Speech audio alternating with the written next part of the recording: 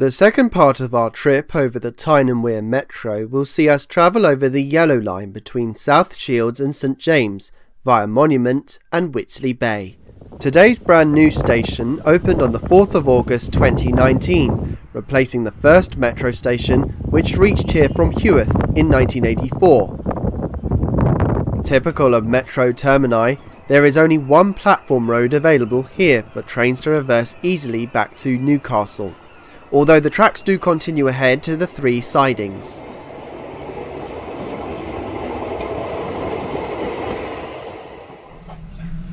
Immediately after leaving the station, the line becomes double and remains so for the entirety of the journey, excluding the section between Jarrow and Pelaw.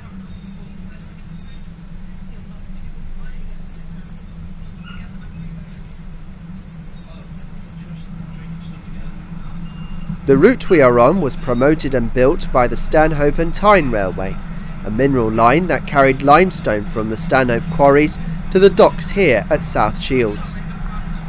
There was also freight trains loaded with coal from West Consett, in addition to a passenger service that started on the 19th of June 1839.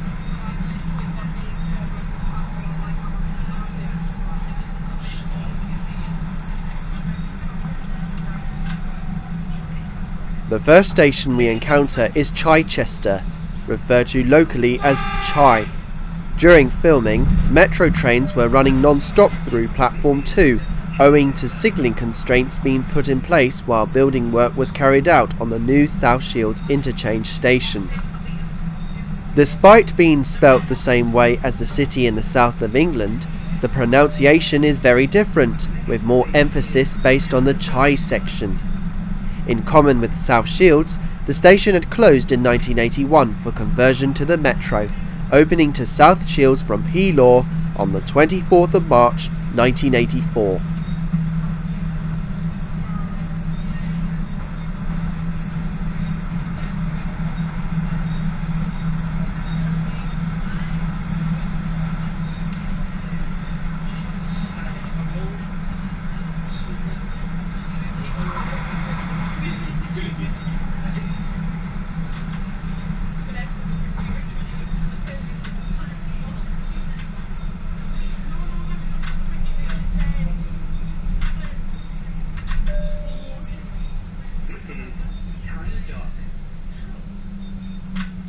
We arrive at Tyne Dock Station, served by steam trains since the preliminary of the line way back in 1839, for which we know that trains continue to Brockley Whins and southwards to Washington on the Leamside line.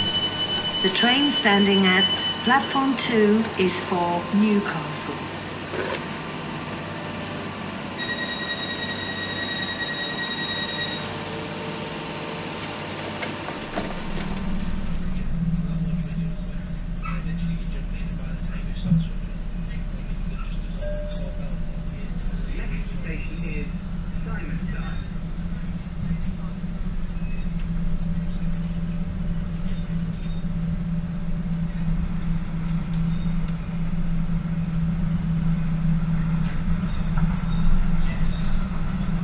Junction was located here, where trains from South Shields, the Tyne Docks and Brockley Whins all interconnected with each other. Our path now digs deeper to burrow into a small tunnel beneath the line carrying the route to the docks and Brockley Whins.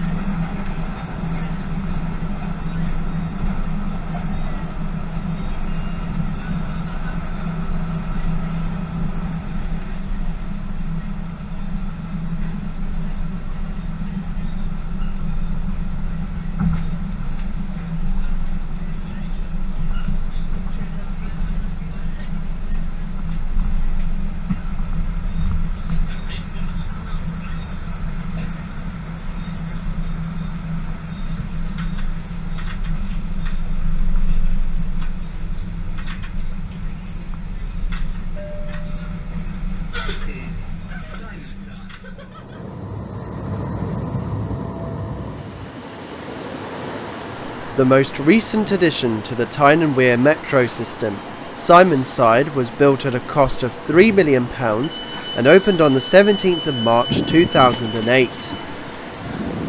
There had been mixed reviews on the arrival of the new station, as residents voiced their concerns, saying that the station would lead to an increase in crime and make the roads more congested.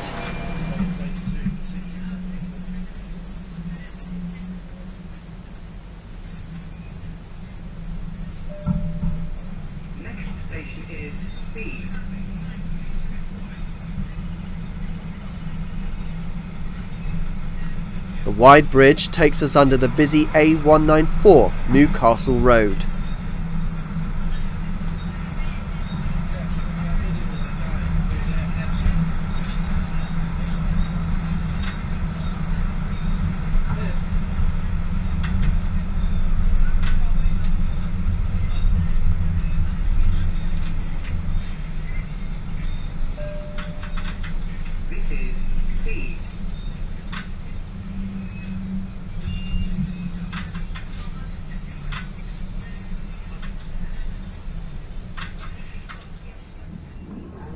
This is Bede.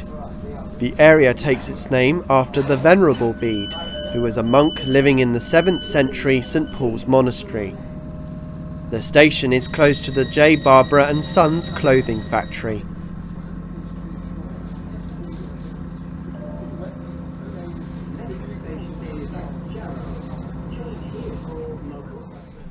Bede Station is comparatively new, unlike Simonside, yet the route along here was opened way back in 1872.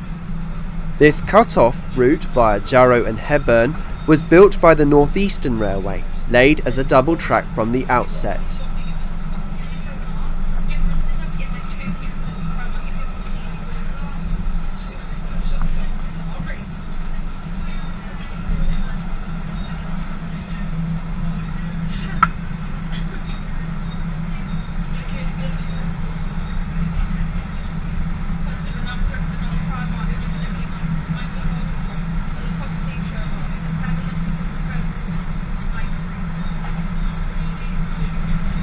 Just beyond the A19 bypass, the line now becomes single, as coming in from the right is the Network Rail freight-only branch line from the Jarrow Oil Terminal, which parallels our route to Pelaw.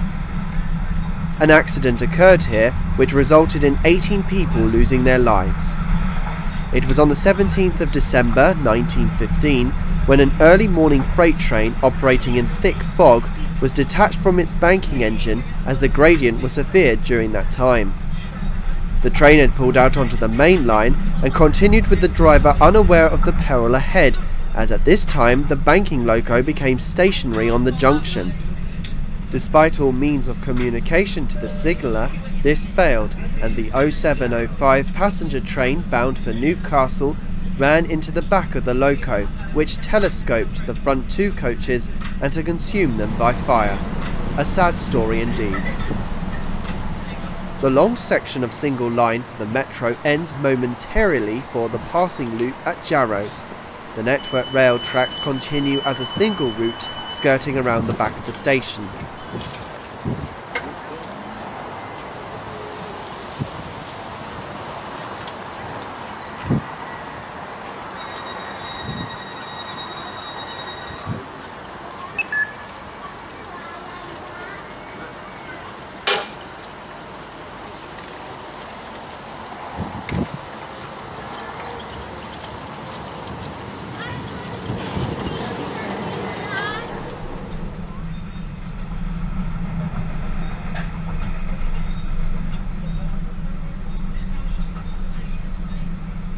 we resume single line working.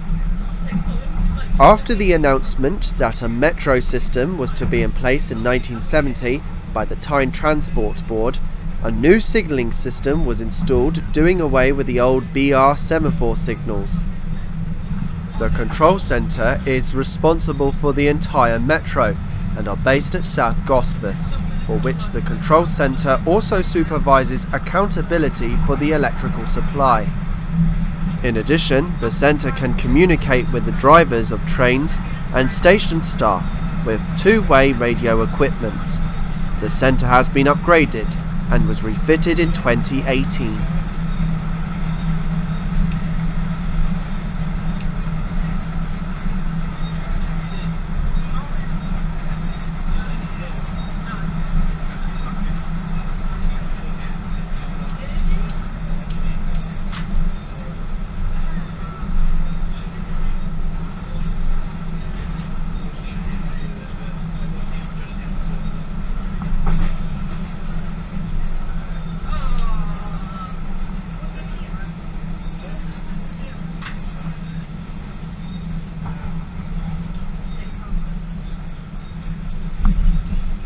The staggered platforms of Hebburn, even though the original of 1872 had the same arrangement.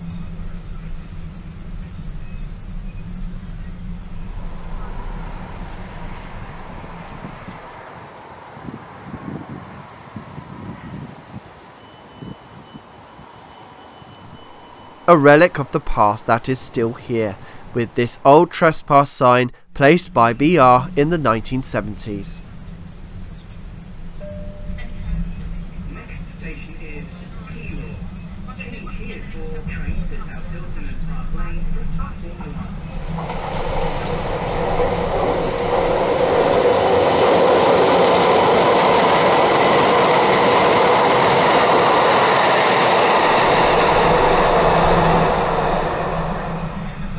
Between Hebburn and Pelaw sees the longest stretch of stationless track on the entire metro system, being well over one and a half miles.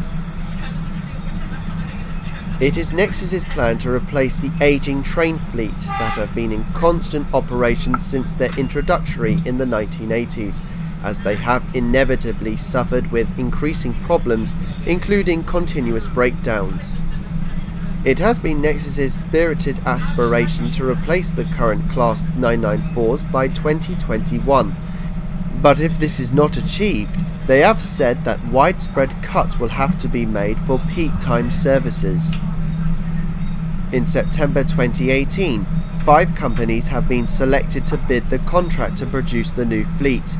These are Bombardier Transportation, CAF, Hitachi, Stadler Rail, and a consortium of Australia, Downer EDI. Currently, the metro is electrified on the overhead wire system, not of 25 kilovolts AC, but on a scaled down voltage of 1500 volts DC. The metro cars are all fitted with their own Brecknell Willis high reach pantographs in order to collect the power from the overhead lines.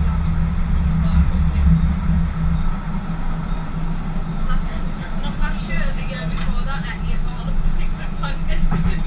Big sister, big big sister fell out, everything's a bug. So last year's big sister ran everything's a bug. The line now resumes its double track infrastructure all the way to St James. The Network Rail line now joins the Durham coastline at Pelaw Junction. During this time, our route connects with the Green Line from Sunderland and South Hylton.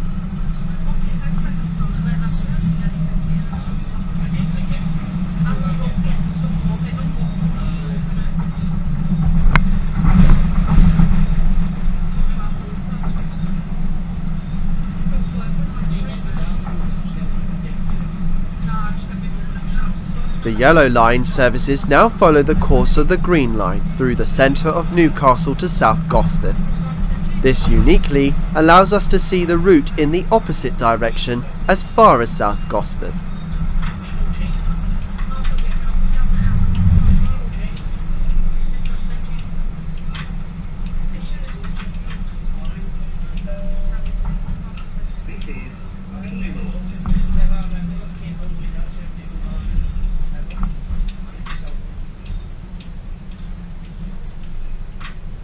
Pelaw opened in 1843 and by 1850 became a junction with the Newcastle and Darlington Junction Railway's route to Durham on what was known as the Leamside Line. Passenger services ceased in 1963, though remained in use for freight until 1991.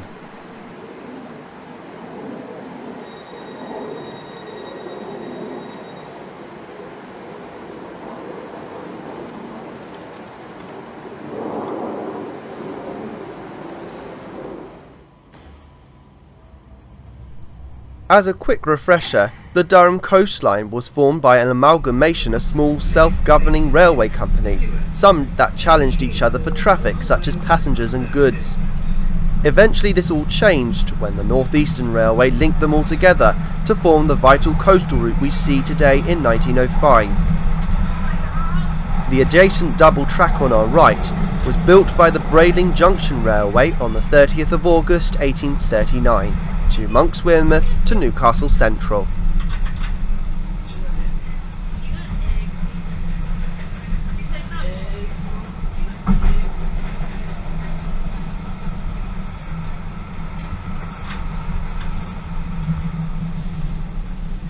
This is Heworth, the terminus of the Metro on the 15th of November 1981 from Haymarket. It provides the interchange with the Durham coastline and a modern bus station which was established next to the station entrance. The British Rail Station opened in 1979.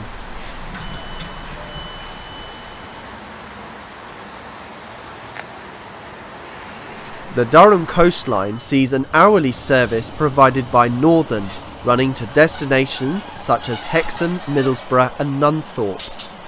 Services are provided by two-car diesel multiple units, mainly class 156s or 158s.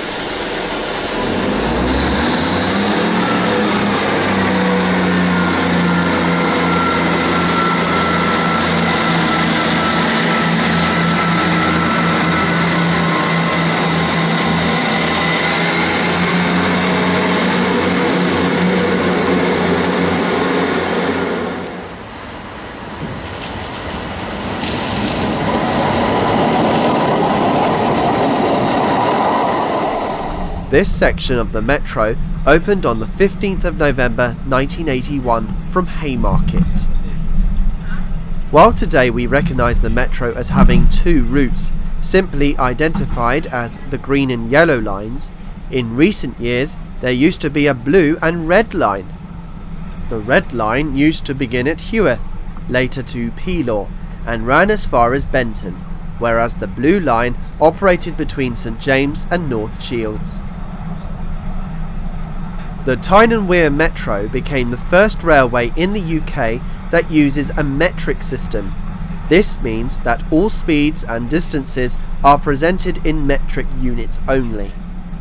The only exception to this is the section between Pelaw Metro Junction to South Hylton, where mileposts are measured in miles. In this case, they are measured from York.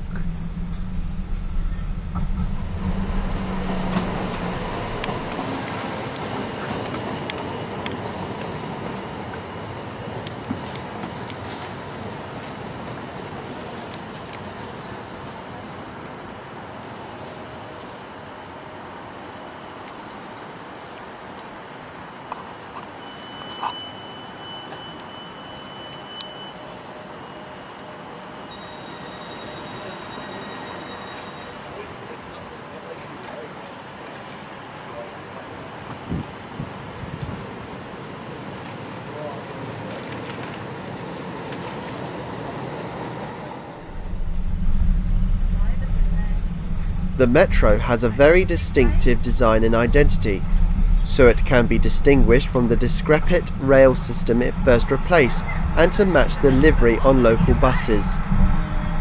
The eccentric black M on a yellow background denotes the metro system on cube signs positioned outside stations, like what the London Underground do with their roundels.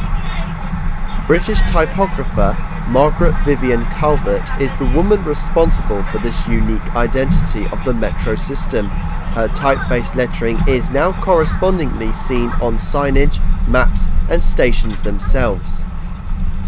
Out of the 60 stations on the metro, they all vary in character from being important railway stations built from the 19th century to others being from the time of the adaptation of the metro in the 70s and 80s.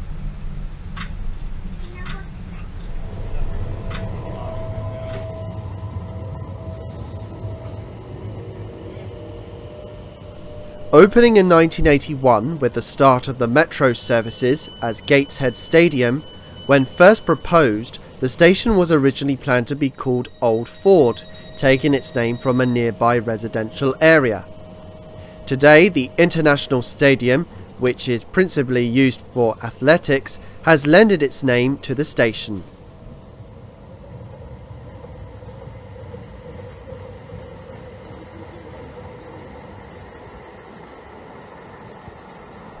Behind the trees, the DCL now parts company to run into Newcastle Central Station by means of the aptly named high level bridge over the River Tyne.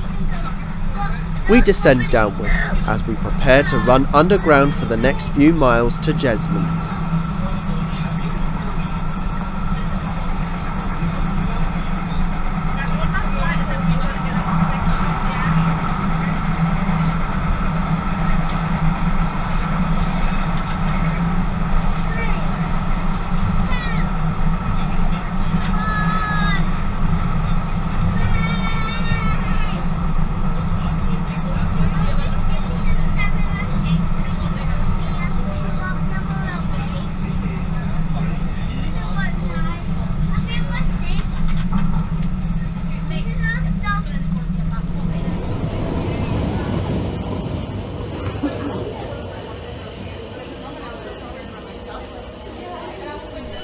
Gateshead Station is in fact the only Metro Underground station not to be located within the city centre.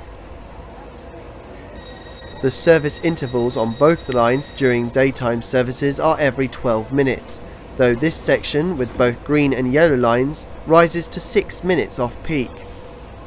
The time taken between airport and South Hylton takes roughly 67 minutes, however the yellow line takes 82 minutes all the way from St James to South Shields.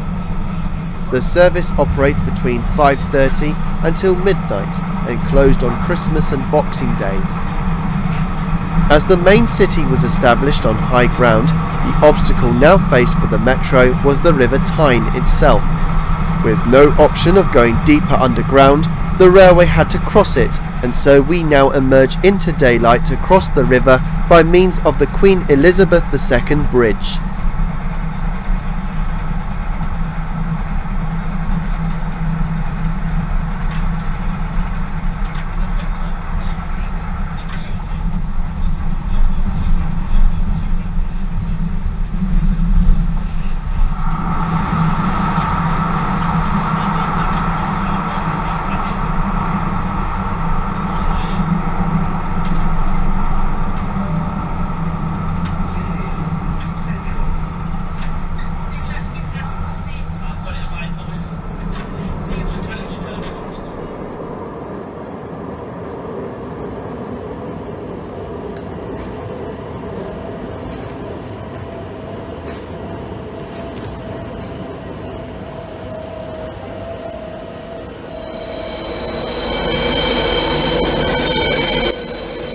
Managed by the London North Eastern Railway, trains provide the half-hourly service from London King's Cross to Edinburgh, with certain trains extended into northern Scotland. Cross Country also has a presence in Newcastle, with its long-distance rail services to as far south as Penzance to as far north as Aberdeen.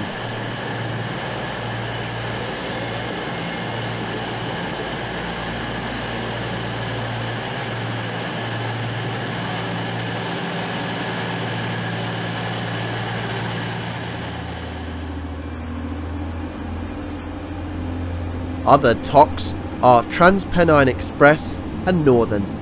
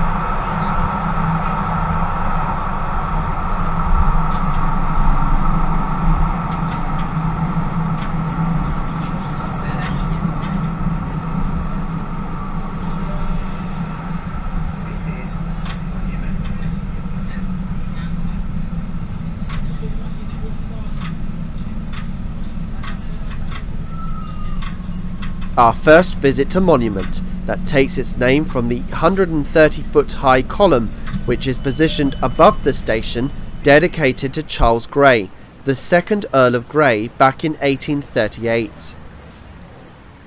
The Metro's Yellow Line is unique to pass through the station twice, known as a pretzel configuration. Only three such other railways in the world have this pre-arrangement.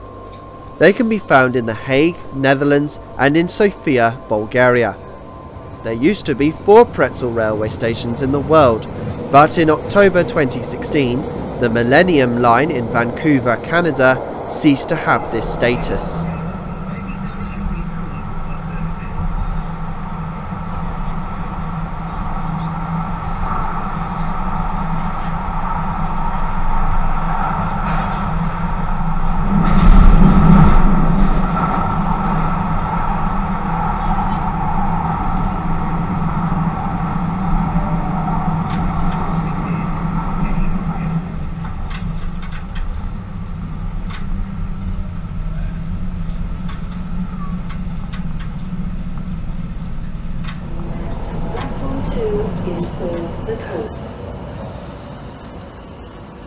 The first terminus of the TWM, Haymarket, is situated right in the city centre, being close to the universities of Newcastle and Northumbria, as well as the Civic Centre and bus station.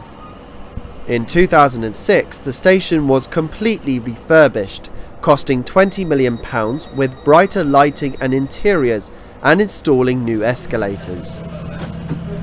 The station handles up to 6 million passengers every year, but annual ridership has increased over the years to 36.4 million people using the metro system in 2017 and 2018.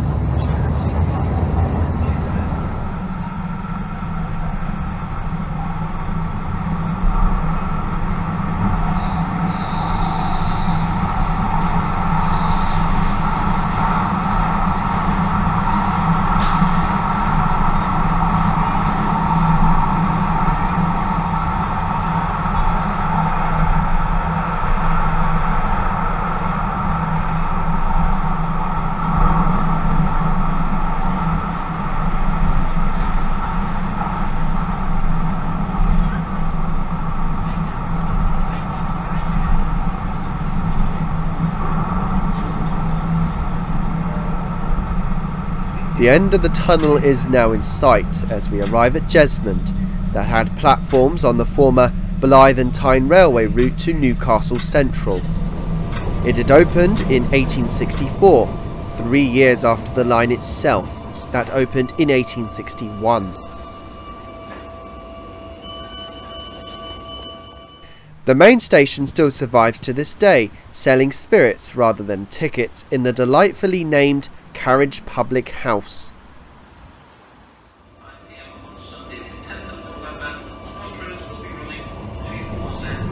Coming in from the right is the previously mentioned BTR route to Central Station, nowadays used for empty rolling stock to reach Manors Metro Station and the sidings there, more of which later.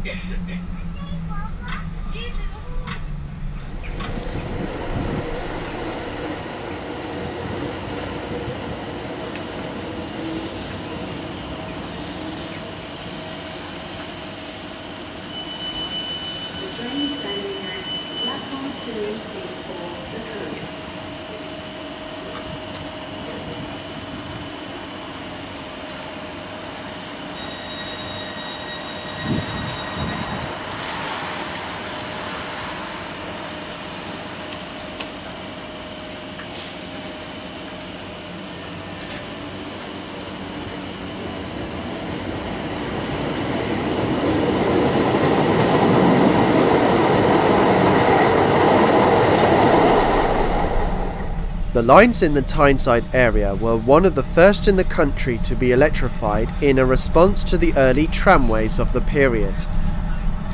The Tyneside Electrics, as they were known, started in 1904 on a scaled down voltage of 600 volts DC third rail system using special NER electric multiple units.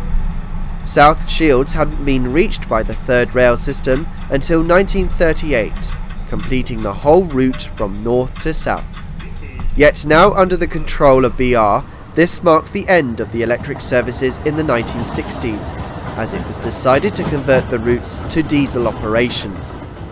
As a consequence to this, the passenger traffic declined immensely as trains had become slower and dirtier, a massive backward step that had not been foreseen.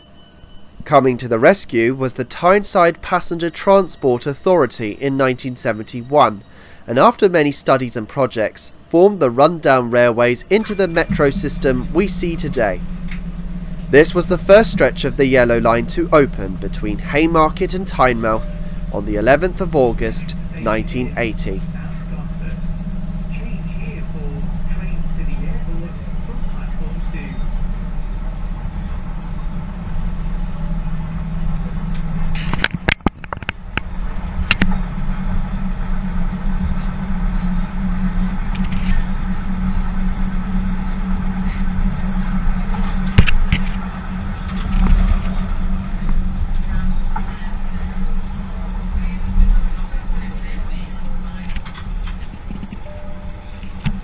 This is South Gosforth. The distinctive black footbridge of 1864 has been saved and still sees the busy flow of commuters on a regular basis. It is also one of the main train crew depots. The building adjacent sees a heavy staff presence entering and exiting the building all day long. Incidentally, from 1864 to 1905, the station was known simply as Gosforth.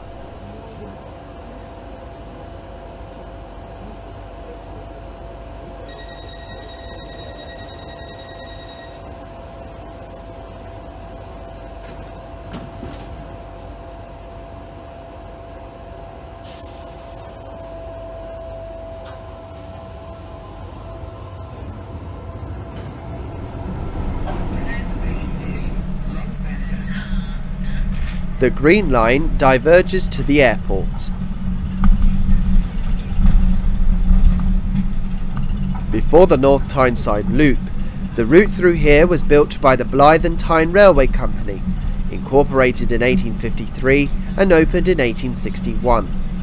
Over the years it expanded in size and strength, extending their routes out towards Ashington and Morpeth to get their hands on the prosperous mineral traffic. So successful it was that a local passenger service had soon commenced, and by 1874 was absorbed by the NER. However, the BTR retained its individual identity during this period. As is the way of things, the coal traffic eventually declined in the 1970s. This also included passengers and mineral traffic accordingly. Business had hit an all-time low. The British rail system was identified as being the poorest transport system in the country, one of the main reasons for being held back of the region's economy. The decision was to modernise the routes around the Tyneside area, with certain old stations and bridges being swiftly converted for a rapid transit system.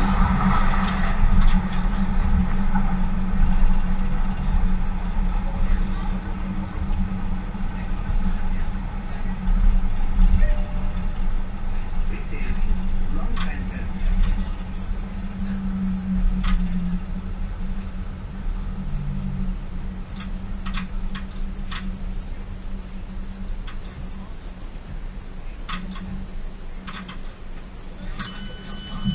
We've arrived at Longbenton. The station predates the current metro station, opening in 1947 by the LNER during the North Tyneside Electrics.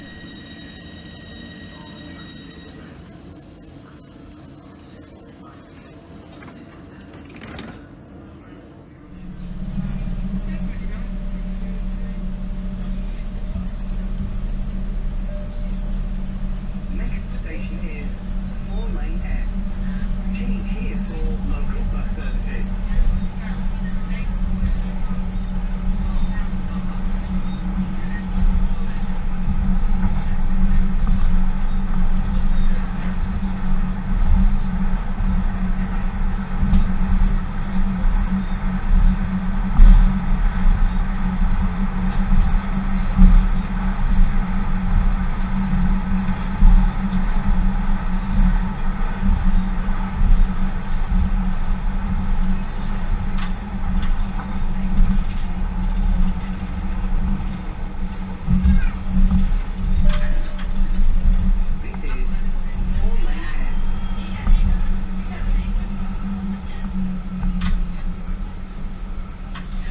The station here takes its name from the junction at Benton Lane, Benton Park Road and Front Street, once a historical crossroad with traders, cattle drivers and the transportation of local salts and lime to the docks. Outside the station itself is the four lane ends interchange, with regular bus services departing to destinations towards Killingworth, Morpeth, Newcastle and rural Northumberland.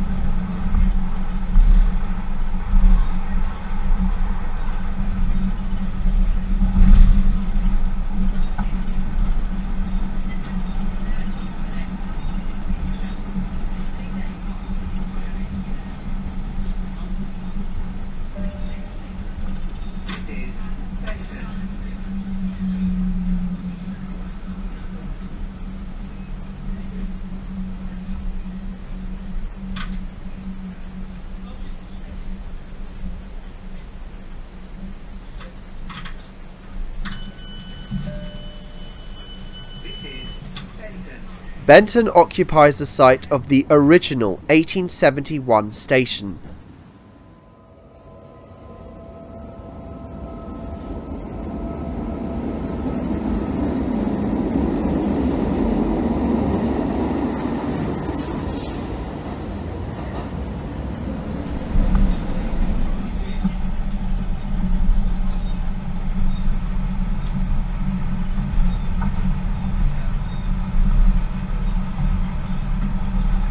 Another square junction used to be here for the northbound and southbound freight and more or less to an extent passenger trains to connect with the East Coast Main Line. We cross the main line on this bridge. The 393 mile long line runs from Edinburgh to London King's Cross at an average journey time of four and a half hours. We are now joined by the freight only Morpeth avoiding line as far as Northumberland Park. The line had originally been built by the Blyth, Seghill and Percy Main Railway on the 28th of August 1841. It was a few years later that it merged to become the Blyth and Tyne. The Blyth and Tyne line now passes beneath us so it can appear on the left hand side.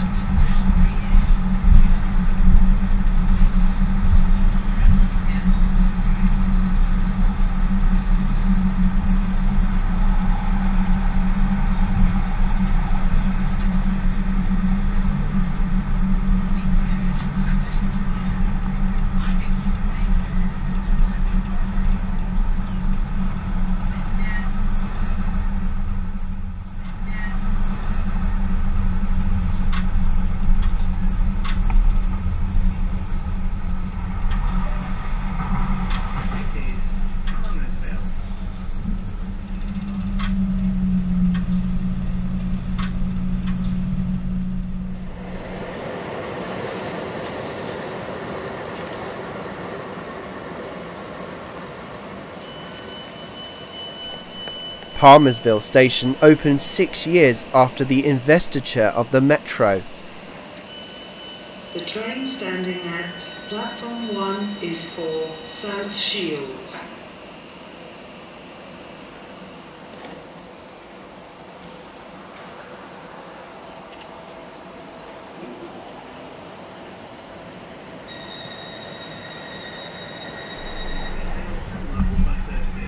Little mention has been made of the motive power in the early days of the BTR. Steam was naturally the main mode of propulsion to transport goods and passengers to their destinations, with locomotives being formed of either 240 or 060 types. After 1904, when electric multiple units were introduced, steam autocars comprising of a Fletcher BTP 044T engine formed of two coaches ran exclusively between Monkseaton and Shields, in addition to a shuttle service over the Avenue branch from Blyth to North Shields.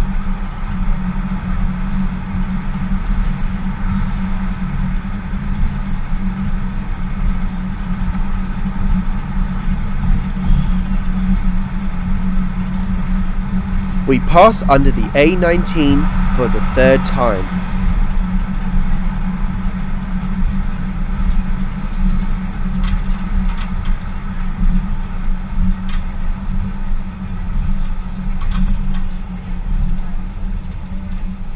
At the time of filming, Northumberland Park was just 14 years old, ceremoniously opened by Professor Tony Ridley, the first General Director of Nexus, on the 11th of December 2005. Closed in 1977 was the site of Backworth Station, located immediately to the west, being demolished in preparation for the construction of the metro.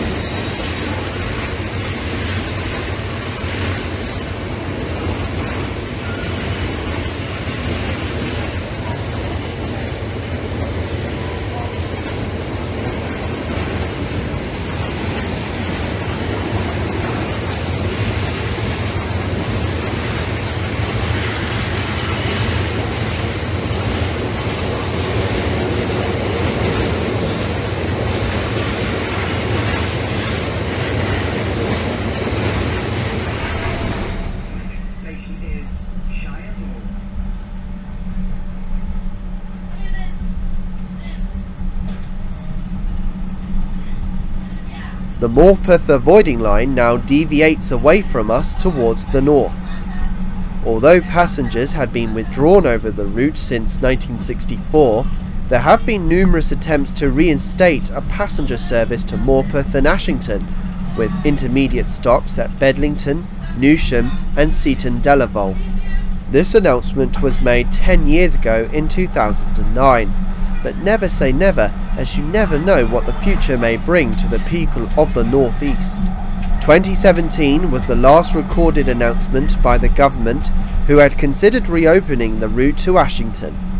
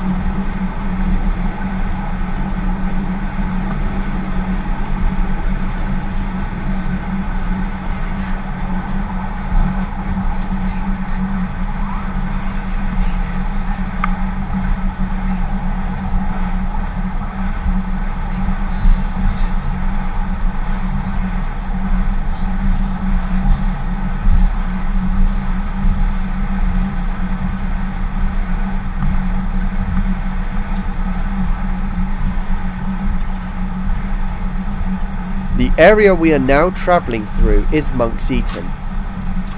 Rail had served what was at the time a small village since 1864, but was granted a second station in 1933, three quarters of a mile away from the first to serve new housing. This is West Monkseaton.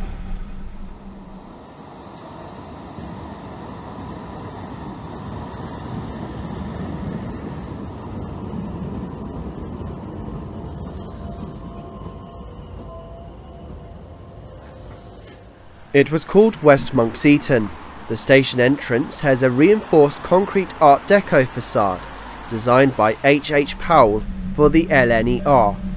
Today the station building still stands along with the LNER platform canopy, being refurbished in 1999.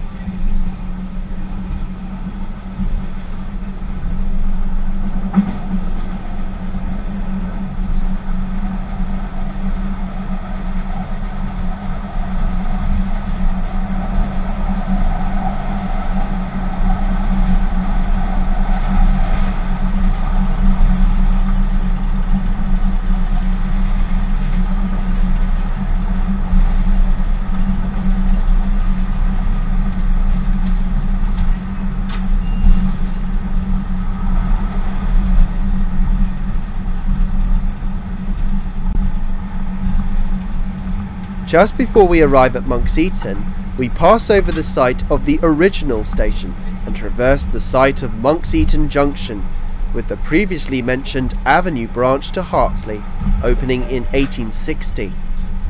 It continued onwards to Tynemouth, but with the growth of housing and holiday making, the route from Monkseaton had been superseded from a course we are now taking today, running closer to the sea.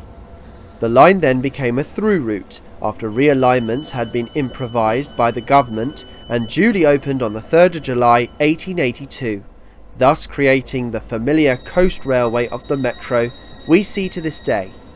Five years later, Monkseaton was one of those built much larger and grander, reflecting its status to the travelling public as a seaside resort.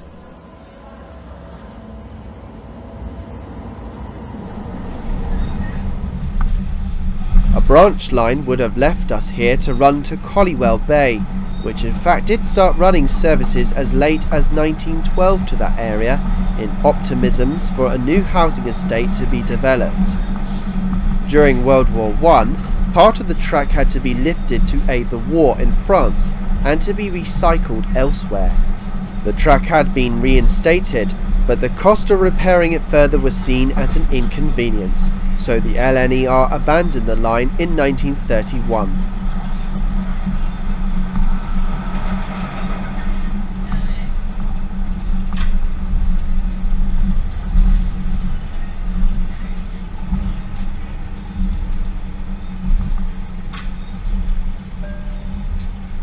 This is Whitley Bay.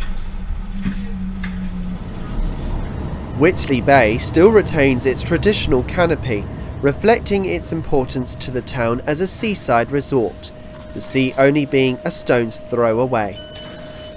Even to this day, the bucket and spade hordes come gushing out of the station towards the beach. The distinctive station building, including the clock tower, were given Grade 2 listing in 1986. The original station of Whitley Bay was sited 600 yards to the west of the present station, the move occurring in 1882.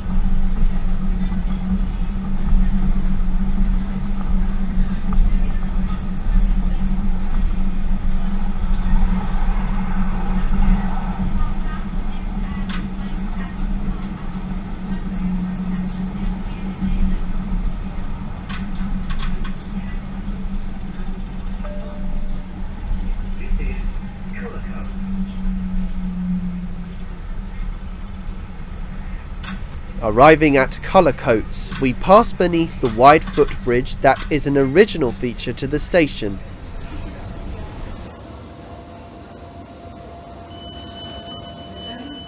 The first station located inland was opened in 1864, closing in 1882 when our route was pushed out to the sea. The station is largely unaltered from opening.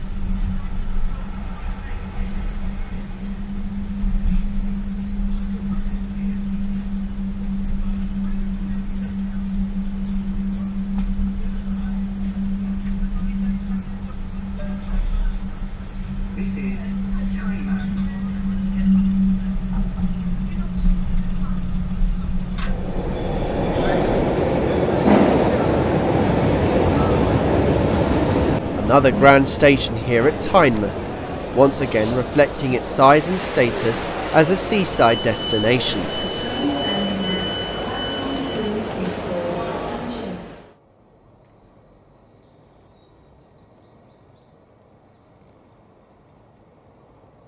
The ornate Victorian station, with the ironwork adorning the NER and its canopies, have both been graded to listing.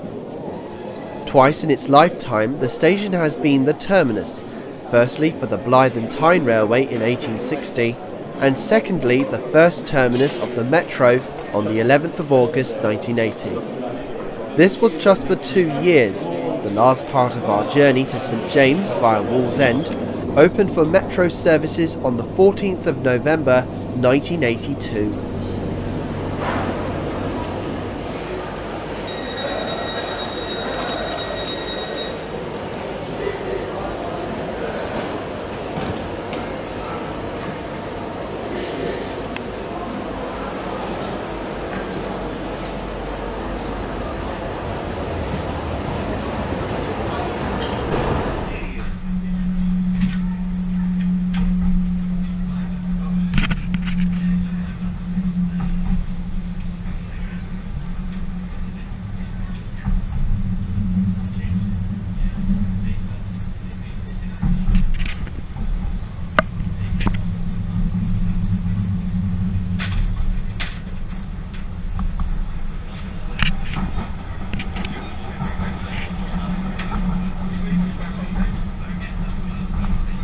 Now leave the former territory of the Blyth and Tyne Railway behind and enter the area once owned and functioned by the Newcastle and North Shields Railway. Their origins lie back in 1830 when it was first proposed for a railway to be built between Newcastle and North Shields.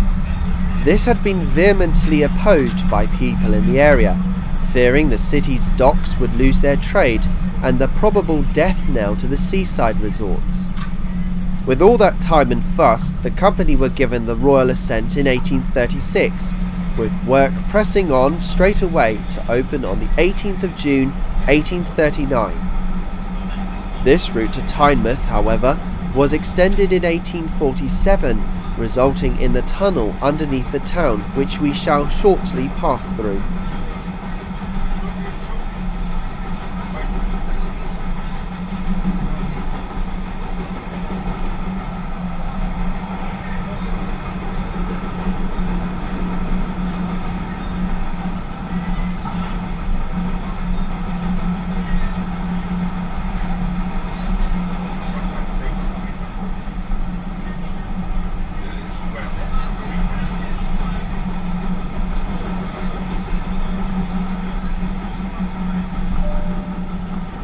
This is North Shields.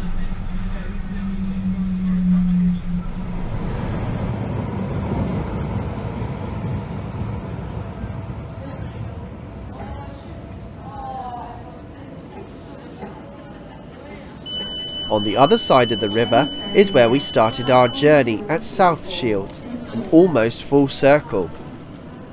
The current metro station was reconstructed for the conversion of the rapid transit station in 1982.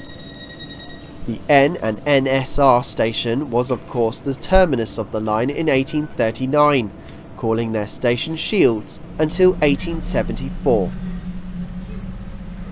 The bay platform on our left once turned back certain metro services when they were a part of the Blue Line, originating from here and terminating at St James. Now on the original path of the Newcastle and North Shields, it's fascinating to note that the line had been built in total isolation to begin with. The constructors hadn't overseen the obstacle that lay in their wake, such as the two viaducts at Willington Dene and Ouseburn. The terminus within the city of Newcastle was at Carliol Square, being replaced by the current Newcastle Central Station in 1850. In November 1844, the railway was absorbed by the York, Newcastle and Berwick Railway, and in turn became a part of the North Eastern Railway 10 years later.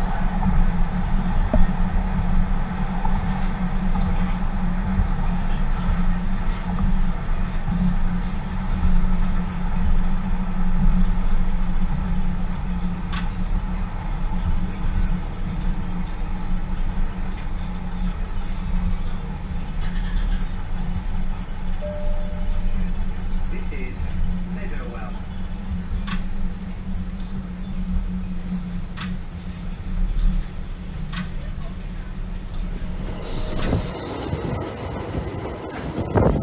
Smith's Park opened with the Metro extension in 1982, and this name remained here until 1994, when it was changed to Meadow Well.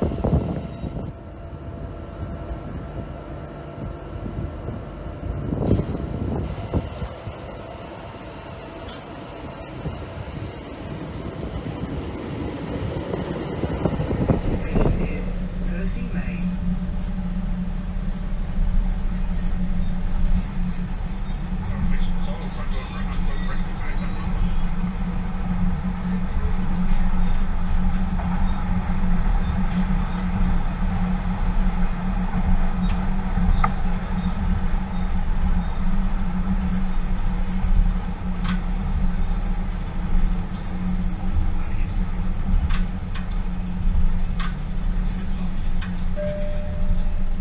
This is Percy Main. Percy Main has had a station here since 1839, once serving the small clustered community around the Riverside Colliery.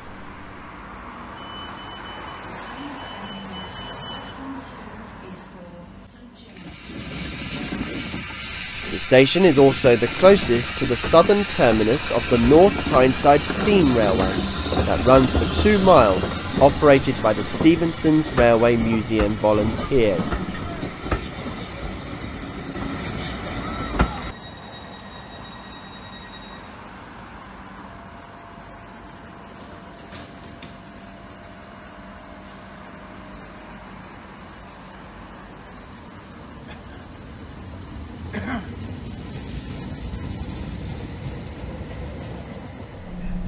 Please take extra care when using the level crossing.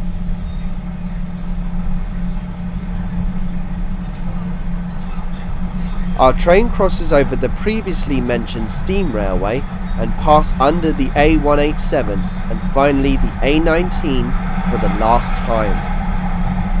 The site of Percy Main Junction was just here, where the six and a half mile long Riverside branch diverged to serve the flourishing industries on the river's edge. It also arose to the proposers that this loop line would too serve small communities that lay far away from the main line. Trains began running over the branch in 1879, with delays being contributed in the scale of engineering works, as the line had required tunnels, bridges, cuttings, retaining walls, and embankments for most of its length. After conversion to diesel multiple units in 1967, the service began to dwindle, with passengers being withdrawn in 1973, followed by goods five years later.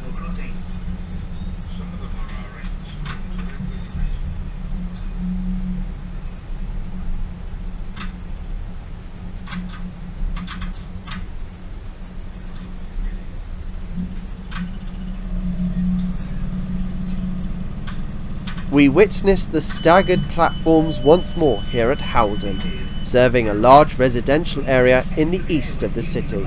The station first opened with the name Howdon in 1839, but was eventually renamed in 1875 as Howdon on Tyne, so it avoided confusion with the Yorkshire station of Howden on the Selby to Hull line. The suffix has now been officially dropped since the metro conversion.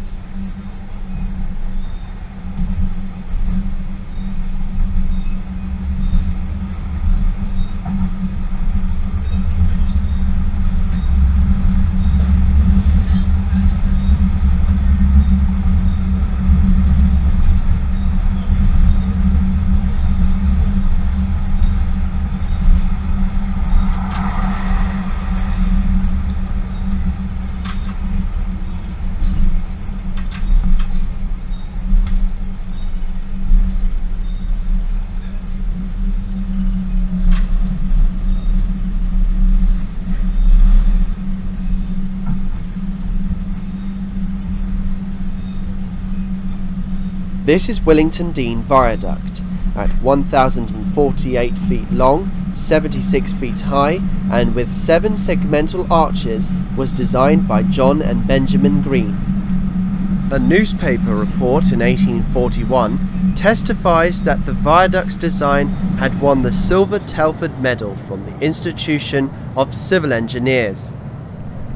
Between 1867 and 1869, the viaduct was rebuilt with iron arches, all thanks to the designs of the engineer Thomas Elliot Harrison. The bridge is now a listed structure.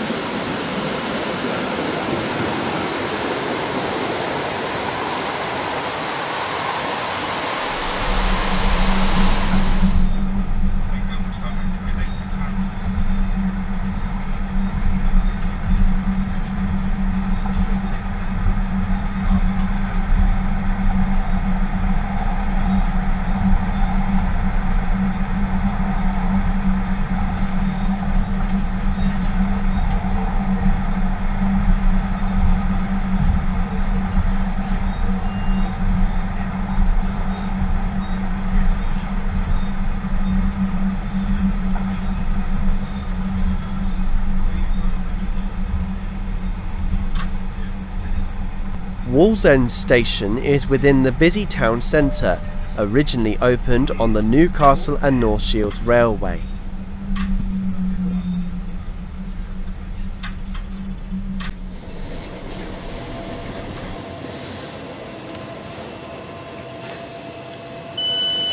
The train standing at platform 2 is for St James. In further contrast to the Roman origins, the metro station has its public facilities signs in Latin as well as English, the only example of a dead language ever to be used in the UK.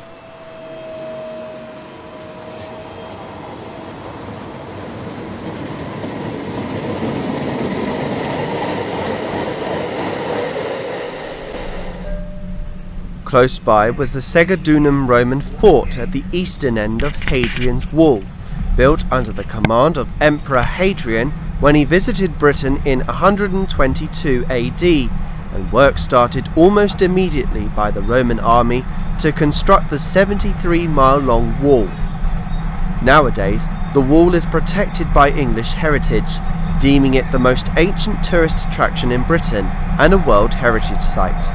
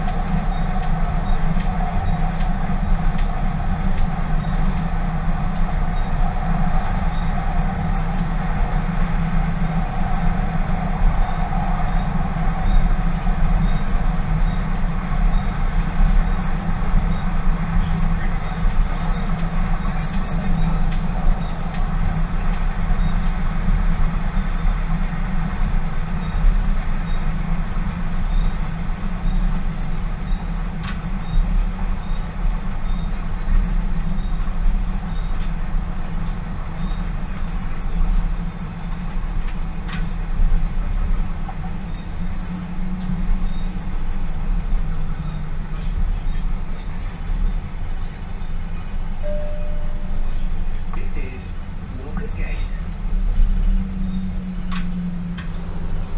Here we arrive at Walkergate, another original station first named Walker until 1889, when it was then called Walkergate. It's the closest station to the Heaton Depot.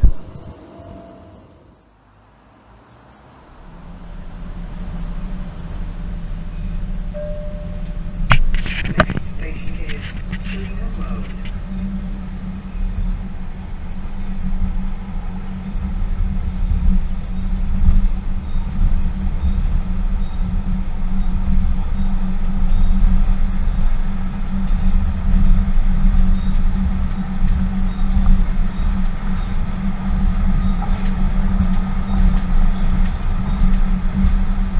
The line now skirts around the bottom of the Heaton Track Maintenance Depot on the East Coast Main Line. It sustains the majority of Northern's fleet of Class 142, 156 and 158 DMUs, in addition for stabling purposes to the LNER and Grand Central Express trains, normally for light maintenance and cleaning purposes. The curve in the alignment at Chillingham Road is where the metro branches off the formation of the Newcastle and North Shields Railway. The station had opened in 1982 as Parsons, as a reflection from the nearby Parsons Engineering Works. It was renamed Chillingham Road a few years later.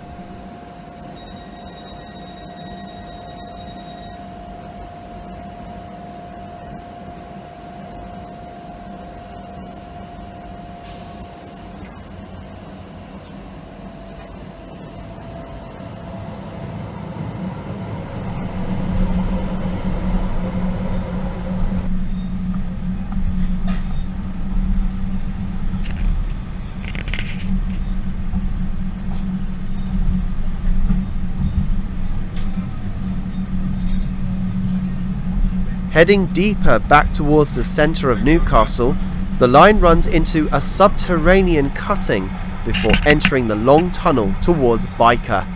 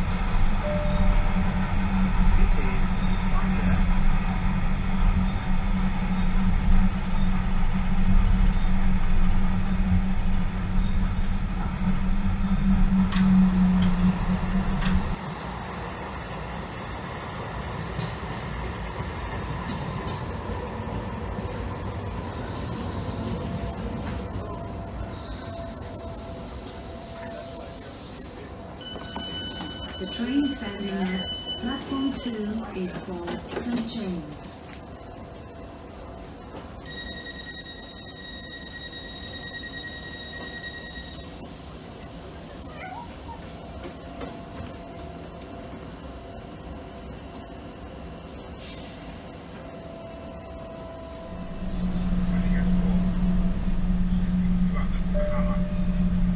Next station is We now noticeably encounter a rising gradient as we escalate from just below street level and onto viaduct over the Ouseburn River, a tributary of the Tyne. The S-shaped viaduct is 815 metres long and 30 metres above the ground at its highest point. It was designed specifically for the metro by Ove, Arup and Partners, completed in 1979 and formally opened for services in 1982. The ginormous 8.2 metre wide spans are a prominent feature to the viaduct, being one of two main bridges for the Tyne and Wear metro.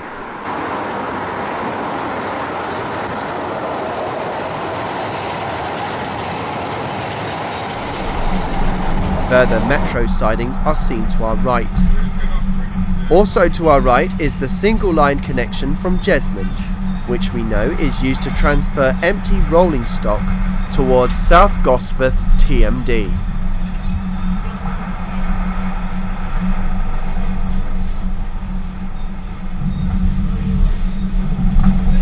The train now descends downwards once more for the last time, remaining in tunnel all the way to the terminus.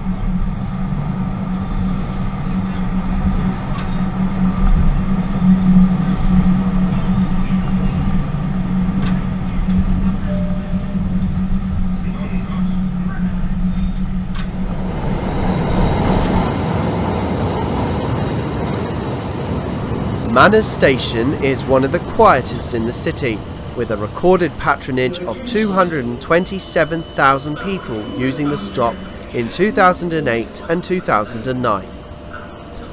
Although it's convenient for the National Rail station to be also called Manors, there is no direct connection between them. Passengers must alight from the metro station and walk a short distance down the road.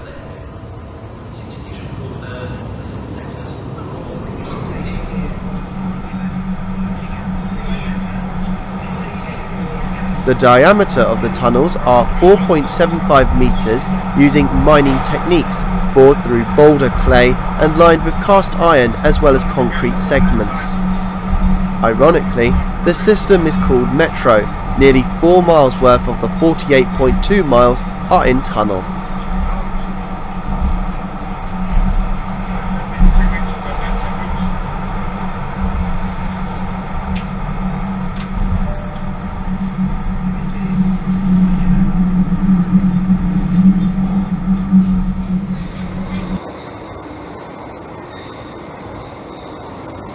The yellow line arrives back here at Monument, the pretzel configuration now being witnessed from the driver's eye view.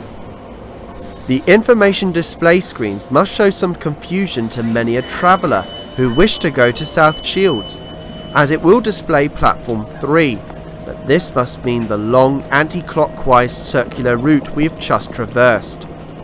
For a considerably shorter journey, passengers will need to go to platform 1.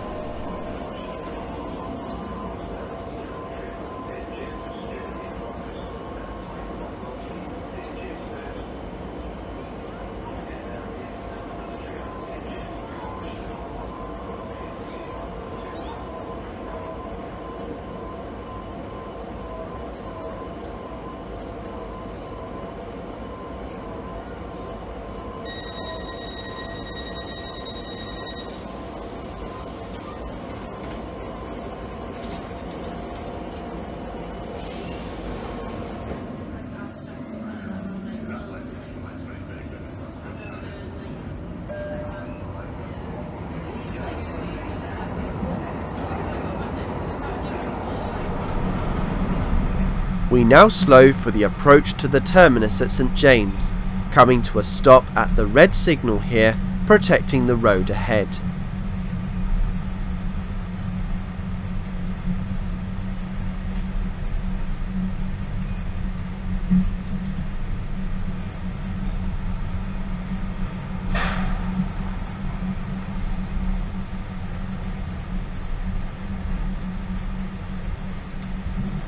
Get the route into platform 2.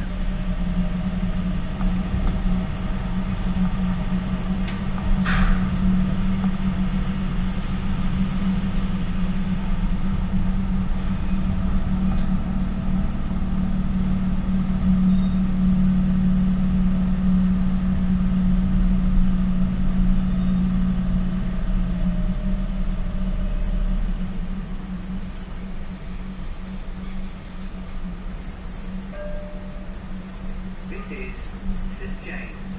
This train terminates here.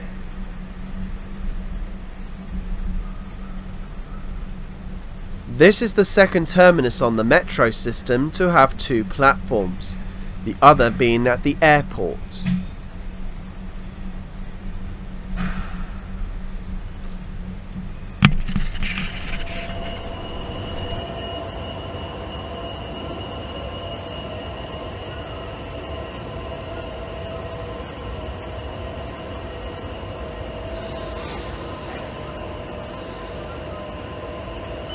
The station interior reflects its close proximity to the Stadium of St James's Park, the home of Newcastle United Football Club. The club's colours of black and white stripes are painted throughout the station, also depicting various players and managers from the past and present. The stadium itself looms over the station, which does get busy on match days, but passengers would not have been able to arrive here if it wasn't for their Tyne and Wear metro system.